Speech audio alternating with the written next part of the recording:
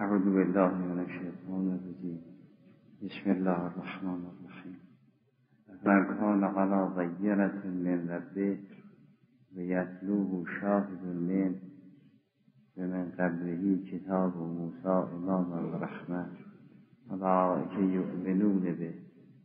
و من یکفر بهی من الاحزاب فالنار موعده. فلا تکو فی مریت منه انه الحق من ربک. ولکن اکثر الناس لا یؤمنون.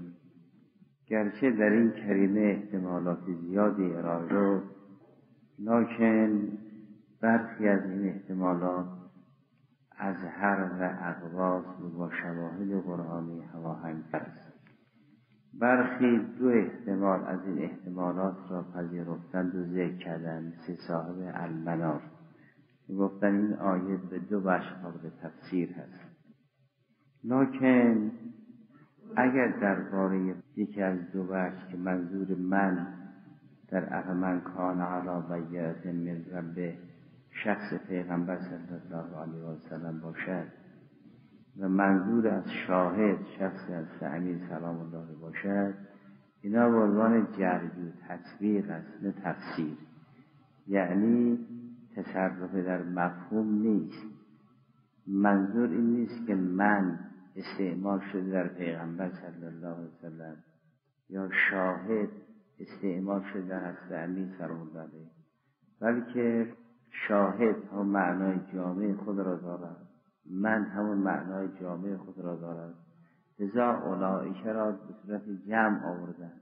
لکن مصداق کامل من کان علا بینتین پیغمبر صلی الله علیه وسلم به مصداق کامل شاهد روز مبارک هستنی مطلب دیگر است که سیدن استاد تو المیزان فرمودند این که اگر ما تو تک تک این کلمات محتملاتش رو جمع بندی کنیم در یکدیگر ضرب بکنیم به هزارها احتمال برسد که بعضی از این احتمالات ضعیف است بعضی قوی بعضی از این وجوه مقبول است بعضی غیر مقبول. منظور از من چیست؟ منظور از بیینه چیست؟ منظور از یسلو آیا تلاوت است یا تل منظور شاهد چیست؟ گفتن جبرئیل است خود پیغمبر است هست امیر است. اعتبار تک تک اینها وجوه فراوان گفته شده. هر کدام از وجوهی که درباره من گفته شده درباره بیینه گفته شده. درباره تلاوت گفته شده یا تل گفته شده درباره شاهد گفته شده درباره مرجع زمیر منهو که منهو به اون من برمیگردد یا به رب برمیگردد به هزارها احتمال می‌رسد. لکن اونچه که مهم است دو نکته است. یکی اینکه در ذهن بعضی از آیون هم هست که وجود مبارک از تعمید سلام الله علیه سن کافی نداشتن در اون وقتی که این سوره نازل می‌شد. زیرا این سوره در مکه نازل شده است نه در مدینه. و کسانی که خود پیغمبر صلی الله علیه وسلم ایمان نیاوردن چگونه به شهادت از امیر اکتفا می‌کنند؟ پس جریان هست امیر از جهت اینکه سنش کم بود به شناخته شدن مدعی سمتی هم نبود نه پیغمبر بود و نه امام. بنابراین شهادت او چه نقشی می‌تونه داشته باشه؟ یکی درباره این هست یکم معنای بیانه. گرچه دلیل عقلی بیانه است دلیل نقدی بیانه است و بیانه بر معجزه اطلاق می شود بیانه بر کتاب آسمانی اطلاق می شود که به نوع خود معجزه است. لکن منظور از این بیانه همون بصیرت درونی و روشنبینی قلب بیانه به معنای خود قرآن کریم دستور مبارک انعام بحثش قبلا گذشت. آیه 57 این صورت بود. آیه 57 سوره انعام. قل انی علی بینت من ربی و کذبتم به. من بیانه الهی دارم و شما رو تکذیب کردید که منظور از این بیانه که تکذیب کردید قرآن است. به زمیر مذکر است به لحاظ اینکه منظور از بیانه قرآن. گاهی مراد از بیانه معجزه است. نظیر آنچه در آیه 105 سوره مبارک اعراف آمده. وجود بارک است که موسی فرمود حقیق علی الله اقول علی الله الا الحق. قد جئتکم ببینت من این آیه 105 سوره اعراف بینه را معنی معجزه بر معجزه تطبیق کرده است. اینا همه از سنخ تطبیق است نه تفسیر. تفسیر اونجاست که مفهوم را بیان کند. اونجا که مصداق را چرخ می‌دهد یا کاملترین مصداق را بیان کند از سنخ جری است. جری همین است که در اصطلاحات علمیزان زیاد کار می رود و از اون حدیث وجود مبارک امام صاحب سلام الله استفاده شد که حضرت فرمود القرآن یجزی مجد شمس و القمر همونطوری که آفتاب در طول سالها میتابد و همه جا روشن می کند به اختصاصی به یک سرزمین معین زمان خاص ندارد تا یوم القیامه هست مثلا. قرآن هم یجزی مجد شمس و القمر این یجزی یعنی ینتبه ایشون در المیزان دارند من باب جریه است یعنی با باب تطبیق اون مفهوم کلی بر مصداق است نه تفسیر مفهومی. بنابراین اگر در روایاتی آمده من منظور پیغمبر است جری است. یعنی تطبیق مفهوم جامع من هست بر پیغمبر صلی الله علیه چه اینکه جر تطبیق مفهوم جامع شاهد هست بر روز مبارک اسلامی سلام پس نه بیان مصداق کامل است. یعنی حسار در جریان اونجا قرار خاص خودش دارد. نظیر آیه مباهله نظیر انما ولیکم الله نظیر لا یمسو در متحرون آیه تدهیر انما الله. اینها مواردی که قرائن خاصه بر انحصار هست. اما در موارد دیگری که قرینه نباشد. قرینه بر هست نه. اونم یکی از شواهد دیگه. پس بیانه گاهی بنی قرآن بر قرآن تطبیق می شود بر موجود تطبیق می شود گاهی هم بر اون بصیرت درونی تطبیق می شود که اون را تو کلمات هستنی سلام و تعلیم می کنید که حضرت بود انی علا بینت من ربی. گاهی به بعضی از عمالش اعتراض می‌کند. فرمود این گزارش که من دادن که بیراه رفتی که انک لم تکن علا بینت من گویا بینه الهی در دل روشن نیست. بی بینه داری کار می‌کنی. من علا بینت من ربه هم این تعبیرها مال اون بصیرت دینی و اون نور درونی همه اینها مصادیق برای بیان است. نه مفهوم بیان اینها استعمال شده باشد. پس من مطلق خودش دارد. مصداق کاملش بود. مبارک پیغمبر صلی الله علیه وسلم است. شاهد همینطور. در باره من قبلهی کتاب موسی اماما و رحمت یعنی جریان حقانیت دین اسلام به قرآن کریم و وحی نبوت که پیغمبر صلی الله علیه در کتاب آسمانی قبلی مثل تورات خوب تشریح شده است. این روز به من قبلی کتاب و موسا اماما و رحمه در سوره مبارک اعراف آیه 157 این صورت است که الذين يتبعون الرسول النبي الأمي الذي يجدونه مكتوبا عندهم في التوراة والإنجيل. خب خصوصیات پیغمبر صلی الله علیه وسلم فضائل اخلاقی و کرامت های اون حضرت برنامه ها و سیره ها و سنت های اون حضرت در تورات و انجیل مشخص شده است. آیه 157 سوره اعراف این بود الذين يتبعون الرسول النبي الأمي الذي یجدونه مکتوبا عندهم في التوراة والانجیل یعمرهم بالمعروف و ینهاهم عن المنکر. در قبال اینها احزاب متعددند.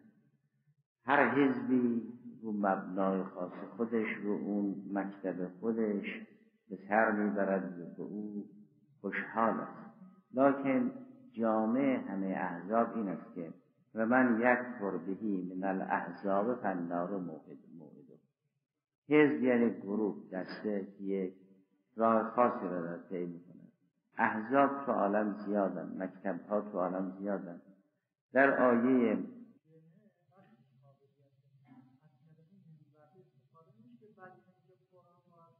بالاخره بیانه اون بصیرت الهی است که در درون شخص است. بر اساس ما بکن من نعمت من الله این بصیرت الهی را ذات اقدس اله می‌داد دیگر خود شخص که فائل این نعمت نیست. منتها خدای سبحان به خیلی ها اون کمالات رو عطا می کند به همه اون نور فطرت رو می دهد اگر اینها به این داده های الهی بها دادن عمل کردن این میمونه و افزوده میشه که من عمل به ما علمه اوتی علم لم یعلم اما اگر نه به اینها عمل نکرد و به کرد کم کم از اینها گرفته میشه. این بیان نورانی از خود پیغمبر صلی الله علیه و سلم هست. بعد هم تو کلمات ائمه بعدی علیه السلام مخصوصا وجود مبارک امام رضا سلام الله علیه آمده است که احسن جوار نعم فانه قلما اقبل شیء قد ادبر فرمود شما که اکنون در همسایگی نعمتی قدر این همسایه را بدانید. وگرنه این همسایه اگر پرواز بکند به زودی بر نمیگردد. این تعبیر همای سعادت همای سعادت از همین این تعبیرات روایی است. فرمود این سلامت هست امنیت هست اعتقاد خوب هست تهارت درون هست. اینا بر اساس ما بکن من نعمت من الله نعم الهی قدر نعمت را بدانید. خدای کرده اگر این نعمت رفت این آسونی بر نمیگردد. قلما اقبل شیعون قد ادبر. خیلی کم اتفاق میافتد که مرغی که پر کشیده دوباره بیاد. سلامتی اینطوره امنیت اینطوره صداقت اینطوره تهارت اینطوره فرصت مناسب برای تحصیل معارف اینطوره آرامش قلبی انسان اینطوره فرمود اکنون که همسایه نعمتی قدر این همسایه را بدانید احسن جوار نه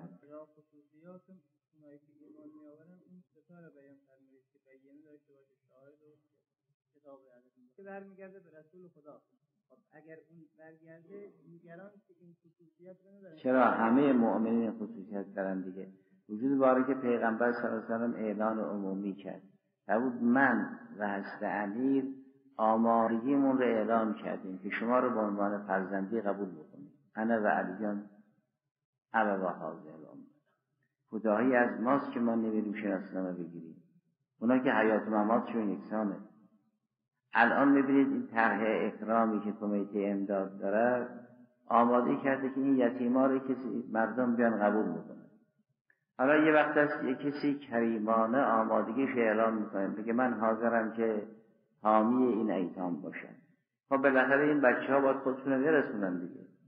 همون ما آماده ما دانه که شما رو به عنوان فرزندی قبول بکنید انا و علیون ابوا. حالا کسی نپذیرفت را شده همه ما علا بینتینیم همه ما یتلو شاهد منهیم همه ما جزء امت اویم و مشکلی نداریم. چیزی برای ما مجبور نیست. اونجا اون راه رفتنه. حالا ما که نمی‌خوایم اون اون اوج برسیم نه طمع اون رو داریم نه مقدور ما. همینه که بلدیم عمل می‌کنیم مطلق است نه مفرد. شاهد مطلق است.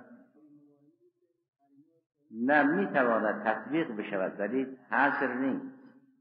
به دلیل اینکه در پایان فرمود اولئک یؤمنون به. جمع آورد. منوش من مطلق است شاهد مطلق است. بعد مصداق کاملش باری پیغمبر صلی الله علیه وسلم است. بعد شاهدم وجود که از سمیر است. آمن الرسول به ما انزل الیه من ربه بعدم و المؤمنون اینطور نیست که ما وسیله نداشته باشیم یا مثلا کوتاهی باشه ابزار فراهم نباشه. یا معاذالله بین حیات و ممات اونا فرق بکنه. اینطور که نیست که پس اگر یه غفلتی هست از طرف خود ما. در سوره مبارکه مؤمنون آیه پنجاه و سه فرمود قبلش یعنی پنجاه دو فرمود به ان هذه امتکم امتا واحده. یه وحدت جهان شمولی قرآن کریم دعوت کرده است. ما سه وحدت در قرآن کریم داشتیم بداریم یه وحدت درون گروهی است به اصطلاح که انما المؤمنون اختر. این حوزه های اسلامی است. یه وحدت است مال پیروان انبیای الهی یا اهل کتاب تعالی الی کلمت سواء بیننا و بینکم. بالاخره هر کسی تابع دین الهی است می‌تواند در یک گروه میانه با هم متحد بشود. یه وحدت جهان شمالی است که در سوره بارکه ممتحنه مشخص شده است که بین مسلمان ها و مسیحی ها و یهودی ها و زرتشتی ها و کافران ملحدان. این وحدت انسانی برقرار شده. منتها شرطش اینه که اینا اهل تجاوز و تعدی و توتی و اینها نباشن. که فرمود لا ینهاکم الله عن الذین لم یقاتلوکم فی الدین ولم یخرجوکم ان تبروا و متقسطوا الیه و ان الله شما با کافران می توانید زندگی انسانی داشته باشید. شرطش هم اینه که اونا اهل توطعه نباشن. شما هم علیه اون حق ظلم ندارید این وحدت سوم است. در اون وحدت میانی که وحدت ادیان الهی آیه پنجاه و یک سوره مبارک مؤمنون چنین دارد یا ایها الرسول کرو من الطیبات و عمل صالحا انی ما تعملون علیم. و ان هذه امتكم امتا واحدتا و انا ربكم فاتقون. خطاب به رسول الله صلی الله علیه وسلم نیست خطاب به رسول است. سلسله انبیا را که مخاطب قرار داد سلسله امام زیر مجبور اونهاست یعنی ای پیروان قرآن ای پیروان تورات ای پیروان مسیح انجیل ای پیروان زرتشت. اون بزرگان اهل حکمت همین ایران زمین ثابت کردن که ایرانی های قبل از اسلام موحد بودن این سنویت مجعول از جریان مزدک و مانی و اینها پیدا شده وگرنه زرتشت هرگز سنویت نیاورده بود. این دو تو سخنان مربوط به مرحوم شیخ اشتاق بود اونجا بررسی کردن خب فرمود یا ایها رسول خطاب به انبیاست. بعد فرمود شما که یه حرف دارید مصدقا بعد حرف که آمد مصدقا لما بین یده بود. امم شما هم برادران دینی یکدیگرند نه برادران گروه اول انما المؤمنون اخوه. بالاخره مزدون هست. بله. شواهدی هم تأیید می‌کند. البته به صورت تواتر اونطوری که درباره یهودی ها هست درباره مسیحی ها هست که قرآن کریم اینجور تاکید می‌کند اینطور نیست.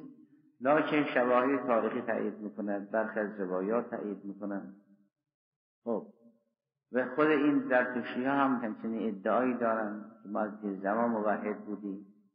اونی که شیخ اشتاق و امثال شیخ اشتاق دارن میگن این جریان سنویت و دو پرستی و دوگانگی از مانی و مزدک و اینها در از این بد در آمده به هر تقدیر فرماد یا ایه الرسول. فرو من الطیبات. و عمل صالحا انی به ما تعملون علیم. و ان هذه امتکم امت واحده یعنی سلسله بشریت توحیدی. اونگاه این وحدت میانی محفوظ است. و انا ربکم فاتقون. بعد فرمود فتقطعوا امرهم بینهم زبرا. کل حزب بما لدیهم فرهون اینها به جای اون وحدت جامع گروه گروه شدن که هر کدام دیگری رو رد می‌کنن. پس بنابراین ما احزاب فراوانی داریم. در این آیه محل بحث سوره مبارکه بود فرمود و من یک بهی من الاحزاب فنار موعدو بالاخره اونها مقدسات دین خودشون برای خودشون محفوظ هست. اونا را جمله قرآن تصدیق می‌کند نه به جمله. ولی با آمدن قرآن باید به پیغمبر صلی الله علیه وسلم ایمان بیارن به قرآن ایمان بیارن و مانند هر حزبی که پیغمبر اسلام را نپذیرد و قرآن را نپذیرد آدما آمدن حکم کلامیش این است که در قیامت محکوم نار است.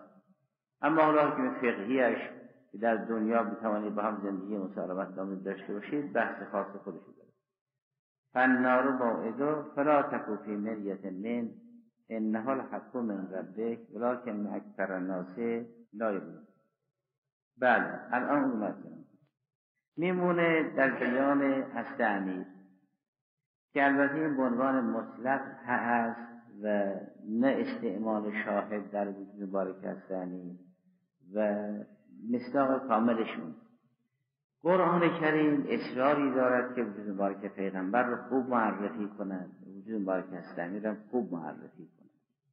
جریان هستمیر با نوجوان ها و جوان ها و میانسال ها و کهنسال ها با همه اینا فرق می‌کنن نباید که حالا هستمین نوجوان بود یا جوان بود مردم که او رو قبول نداشتن. بله مردم ادهی قرآن را قبول نداشتن پیغمبر را قبول نداشتن. رسد به ولی کار قرآن معرفی پیغمبر است شاید اینا یه حساب جدایی دارد نباید گفت چون اینها باور نکردن چرا قرآن گفته است. قرآن گفته است تا اون که علا بینت من ربه هست بفهمد و باور کند جریان کم سنی و اینها معیار نیست. برای اینکه به آتین الحکم سبیا درباره یحیی بود امثال ذالک هست. یا سلام الله یحیی هست آتین الکتاب جعل وجود مبارک امام جواد دارد که خدای سبحان همونطور که جریان نبوت را با و آتینا حکم کرده جریان امامت هم حل می کند این بخش اول. بخش دوم این است که خود از تعمیر خودش رو معرفی می کند المنار زین همین آیه میگه شاهد را گفتن جبرئیل هست شاهد را گفتن پیغمبر هست. البته در بعضی از روایات ما هم شاهد در وجود تفسیری شاهد بر خود جبرئیل هم تطبیق شده است چون در بر ملائکتو یشهدون که این کتاب از ناحیه خداست به و بعضی ها گفتن که منظور از شاهد وجود مبارک پیغمبر است در سوره احزاب دارد که یا ایها انا ارسلناک شاهدا مبشرا ونذیرا وداعیا الی الله باذنه سراجا منیرا شاهد بر پیغمبر اطلاق شده برای تثبیت رسالت پیغمبر صلی الله علیه وسلم که بعد بفرماد فلا تکو فی مریت من اونها خیال کردن که منظور شاهد از منظور مراد از شاهد جبرئیل است تا پیغمبر مریه و شک نداشته باشه برای او یقین باشه در حالی که چون پیغمبر علا بینت من ربه هست به اهل شک و تردید و مریه نبود نمی‌تواند منظور از شاهد جبرئیل باشه خب پس اگر گفتن ول ملائکت و یشهدون یک اگر در سوره اسراء دارد انا ارسلناک شاهدا مبشرا و نذیرا دو اینا هیچ کدوم نمی‌توان شاهد باشد که منظور از شاهد در اینجا شخص پیغمبر صلی الله علیه وسلم البنا دارد که یه سلسله روایاتی که روایتا و درایتا ضعیف است. شیعه ها نقل کردند و بر علی ابن عبی طالب سلام الله تطبیق کردند.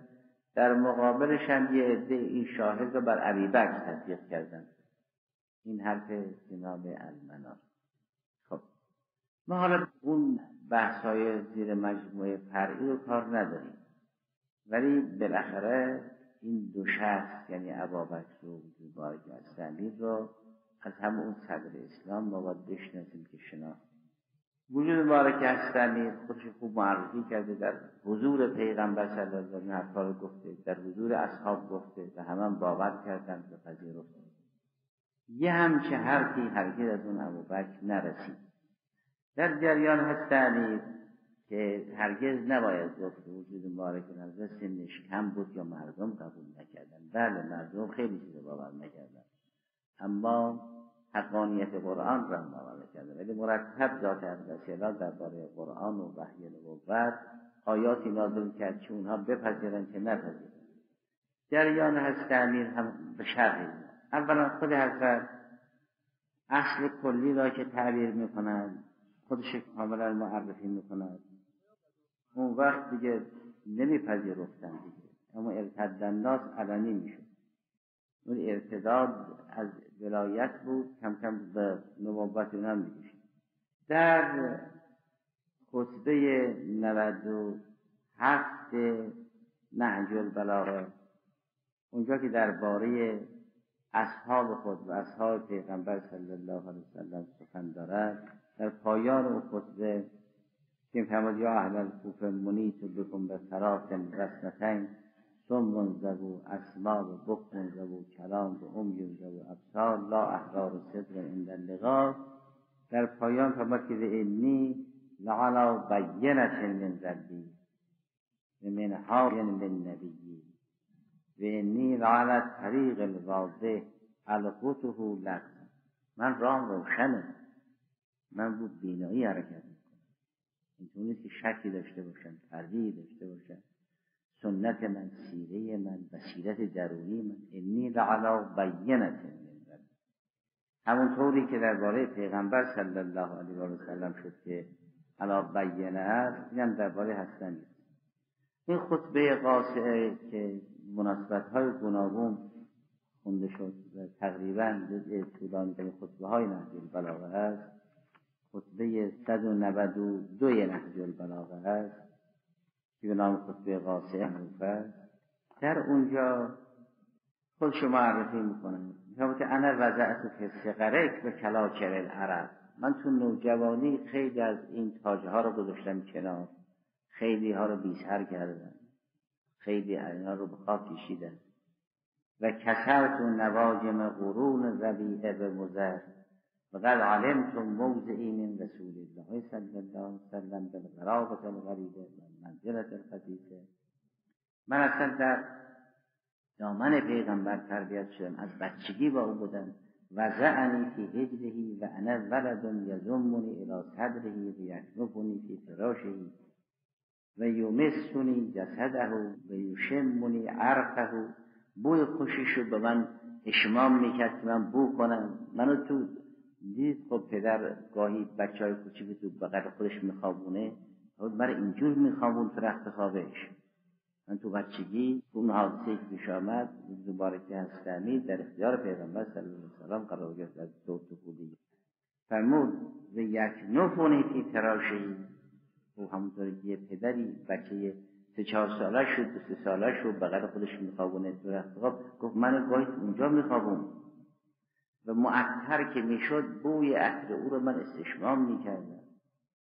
و در دوران کودکی تنها غذا در دهن من میگذاشت بالاخره اگر نان یا به جویدن داشت باید نرم می‌شد نان رو با دندان مبارک مغز می‌کرد نرم می‌کرد تو دهن من میذاشت و کان یمزه و شیعه ثم یدقمونیه مزق می‌کرد جدید نرم می‌کرد بعد لغمه می‌کرد میذاشت تو دهنش.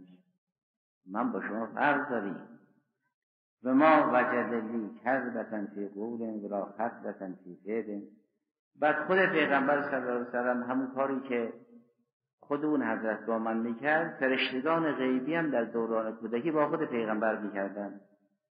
و لقد قرن الله بهی صلی الله علیه و سلم ملتون انکان فتینا تازه از شیر گرفته شده.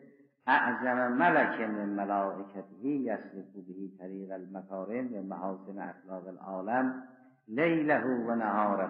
شب و روز اون فرشتگان این رو میپروروندن که مبادا خدا اینا کرده در حرم امن این کودک چیزی راه پیدا کنه. و من هم از بچگی خب حالا اون رشد کرده بود. او چهل سالش بود من شاید در سیزده سالم بود. من از بچگی ایشو که چهل سال بود پیغمبر شد من هنوز بالغ نشده بودم. ولی من در پی این سیزده سال قبل از اینکه اون حضرت به مقام نبوت برسد مثل یک بره که به دنبال مادر حرکت می‌کند من اینجور به دنبال او می‌رفتم. و کنت او اتباع الفسیده اثر امه این بچه آهو که به دنبال مادرش میده من اینجور به دنبالش بودم. یرفعولی فی کل یومن من اخلاقی علما و یأمرونی بالاقتداء بهی بعد تا رسیدم به این سن. دیگه با افراد دیگه فرق می‌کنم. من الان فرشته ها رو می‌بینم. من بوی نبوت میشنوم. من صدای فرشته ها رو میشنوم من نزول قرآن رو درک می‌کنم ولقد کان یجاور فی کل سنتن به هرا چون من در خدمت اون حضرت بودم این هر سال در کوه هرا مجاورت می‌کرد جای خیلی خلوتی بود. داود مشرف شدید تقریبا مرتفع ترین کوه اون اطراف است که اشراف دارد در بیت الهی. شبهای زلاب و شفافی هم دارد تو منطقه استوایی است. کم ابر است شفاف است صاف است. هم برای عبادت در شب آماده است هم روز فرمود و لقد کان یجاوره فی کل سنتین به عراق فعراه ولا یراه غیری. من مواظب بودم که او دل شکار بکنه به حرامه دیگران که نمیدن که. ولم یجمع بیت واحد یومئذ فی الاسلام غیر رسول الله. صلی الله علیه و سلم و خدیجه و انا ثالثهما اون روز خاندان اسلامی خانواده مسلمان بیت اسلامی همین یه خانه بود که وجود مبارک پیغمبر صلی الله علیه وسلم اول خدیجه از در سن از من بزرگتر بود و من هم سومی اینا بودم. ارا نور الوحی ارا نور الوحی و رساله و اشم ریح النبوه من نور وحی رو می‌بینم نور رسالت می‌بینم. نه رأیتهو این ارا غیر مزاره است و استمرار میفهمونه نه رأیتهو ارا نور الوحی و رساله و اشم ریح النبوه بعد ولقد سمعت رنت الشیطان حین نزل الوحی علیه صلی الله علیه وقتی وحی نازل شد در کوه هرا و مقام نبوت رسید من یه ناله شنیدم. فقلت یا رسول الله صلی الله علیه وسلم ما هذه الرنه این ناله چیه؟ فقال هذا شیطان قد ایس من عبادته. این ناله افسوس مدارانه شیطان است. که در این سرزمین دیگه جا برای اونی بعد فرمود انک تسمع ما اسمع و ترا ما ارا الا انک لسته به نبی و لکنک لوزیر به انک لعلا خیر. فرمود یا علی هرچه من میشنوم تو میشنوی هرچه من می‌بینم تو می‌بینی. منتها اون وحی تشریعی بر من نازل می‌شود نه تو اون وحی تصدیقی و معارف دیگه و امثال ذالک محفوظ است. اما وحی تشریعی فقط بر من نازل می شود من نبیم تو احکام رو از من می‌گیری. نه اینکه تو نبی باشی. تو وزیر منی. انک تسمع ما اسمع و ترا ما ارا الا انک لست بنبی. ولکنک لوزیر و انک لعلا خیر. بعد اون جریان معجزه رو نقل می‌کنن که درختی آمد و قبول نکردن اینا. در پایان همین خطبه 192 فرمود به این که به انی اونا که دیدن من باور کردم اونا اعتراض نکردن خواستن نسبت من دهن کجی بکنن حضرت باز خودش معرفی می‌کنن. به انی لمن قوم لا تأخذهم فی الله لومت لائم سیماهم سیم الصدیقین و کلامهم کلام الابرار و مار اللیل و منار النهار متمسکون به حبل القرآن یحیون سنن الله و سنن رسوله لا یستکبرون ولا یعلون ولا یغلون ولا یفسدون قلوبهم فی الجنان و اجسادهم فی العمل الان من تو بهشتم من جز اون قومیم که دلشون تو بهشت است. الان قلبم تو بهشت است. بدنم تو کار و فعالیت کوشش خب این رو خدای سبحان مرتب دارد به مردم معرفی می‌کنه قرآن دارد معرفی می‌کنه میگه علی با پیغمبر اینو بحث باید بکنن جستجو بکنن. علی چیه نباید گفت حالا اونا قبول نداشتن یا سن از کم بود که احتیاج داره باید میشه حرف مناف این همون بیان نورانی خود از تعمیر است که و دهرو از حکنی بعد ابکایی که منو با دیگری مقایسه می‌کنه. او کجا میگه که بیان لطیفی سیدن استاد مرحوم علامه داشتن که چند بارم به رسید. ایشون میفرمان که کسانی که محضر پیغمبر صلی الله علیه وسلم درک کردن خب گروه فراوانی بودن دیگه. اونایی که به رقم آمده در استرقاب فی معرفت صحابه مثلا دوازده هزار نفر بیش از اونا هم هستن. اونایی که از یک ساعت تا یک عمر خدمت پیغمبر بودن. اینا دوازده هزار نفر. البته بیش از این مقداره این دوازده هزار نفر ایشون میفرمودن یه طرف وجود بارک هست امیر یه طرف. اون دوازده هزار نفر به اندازه هست امیر حرف نیاوردن. و اونم بی عمق خدمت پیغمبر بودن دوازده هزار نفر رو جمع بکنیم مثل یه نفر حرف نزنه معلوم میشه این نباید گفت این جوان است یا نوجوان است مردم باید این رو معرفی کرد. تا کم کم کم کم روشن بشن بپذیرن و خود میرن به این آیات استشهاد می‌کردن. و گاهی هم که بعضی ها بیراه می‌رفتن برخی از امار اون حضرت در چهل و یکمین نامه نهج البلاغه به این صورت آمده است که حضرت به اون بخشدارش راویش اعتراض می‌کند. و فرماد به که لم تکن علی بینت من ربک. مثل که چراغ روشنی تو دستات نیست. هر چی دلت بخواد میکن بیراه میگی. این علا بینت من ربه یعنی اون کسی که بصیرت درونی داره دلش روشن است این علا بینت من ربه است. یکی از مصادیق بارد الحمدلله.